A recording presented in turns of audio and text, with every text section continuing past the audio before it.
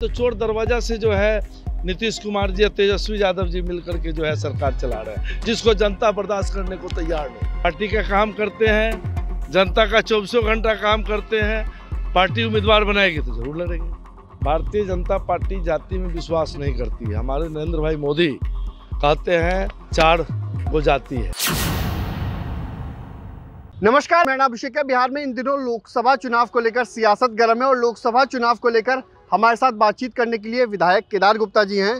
बिहार में लोकसभा चुनाव को लेकर सियासत गर्म है। मुजफ्फरपुर लोकसभा की बात की जाए तो कुर्नी उपचुनाव में अब ऐतिहासिक जीत, क्योंकि महागठबंधन की सरकार थी उस समय और आपने जीत दर्ज की। क्या कहेंगे? देखिए, यह जीत तो जनता की है और कुरहनी ही नहीं, पूरे बिहार में महान जनता हमारा तैयार है।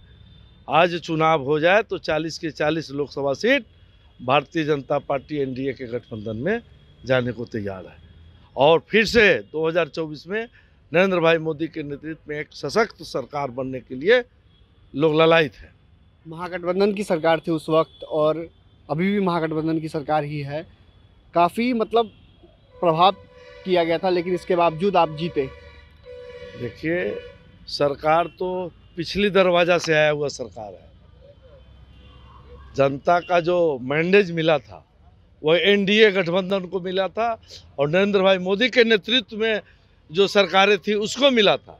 लेकिन तो चोर दरवाज़ा से जो है नीतीश कुमार जी और तेजस्वी यादव जी मिलकर के जो है सरकार चला रहे हैं जिसको जनता बर्दाश्त करने को तैयार नहीं।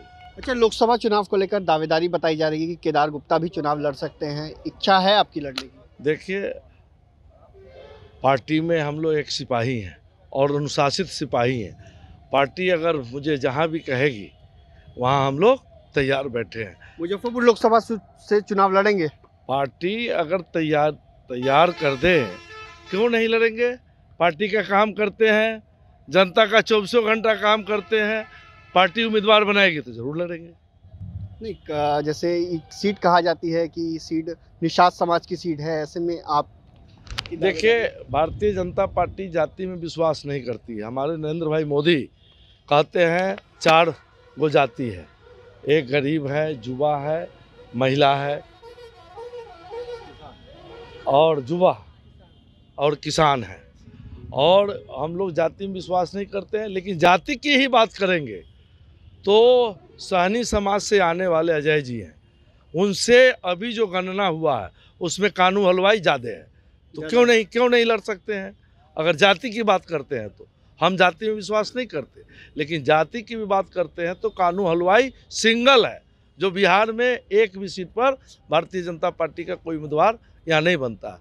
इस बार समाज का भी मांग है और पार्टी अगर उम्मीदवार बनाती है तो हम लोग लड़ने के लिए भी तैयार जीत जाएँगे उम्मीद है? अरे मैं अब तो देखे हैं कुर्नी में मुकेश भी आ सकते हैं। जी जिस तरह से हम लोग सेवा करते हैं पूरा जिला के लोग बिहार के लोग जानते हैं पार्टी का भी सेवा करते हैं तन मन धन से और जनता का भी चौबीसों घंटा सेवा करते हैं। इसलिए मुझे पूर्ण विश्वास है कि कोई भी उम्मीदवार होगा उससे ज़्यादा बहुमत लाने का काम यहाँ की जनता हमको देगी। पकड़ है?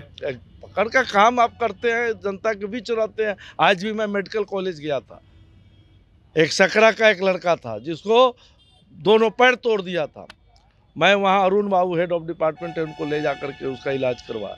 एक गौसी का चौधरी जी अमर चौधरी के पुतो जल गई थी घोड़ा तापने में। मैं आज ही उनको इलाज करवा के आया हूँ। तो जो आदमी काम करेगा जनता के बीच, उनको पकड़ होगा ही। तो आपने सुना कि केदार गुप्ता ने क्या कुछ कहा? बीजेपी के विधायक है। कुर्नी उपचुनाव में ऐतिहासिक जीत दर्ज की थी इन्होंने और महागठबंधन के उम्मीदवार को हराया था। ऐसे में इन्होंने साफ़ साफ़ कहा, अगर पार्टी हमें उम्मीदवार बनाती है तो हम ज़रूर चुनाव लड़ेंगे और जीत कर भी दिखाएँगे, क्योंकि कानू हलवाई का वोट ज़्यादा है मुजफ्फरपुर लोकसभा क्षेत्र में और पार्टी और समाज की मांग है कि इन्हें उम्मीदवार बनाया जाए।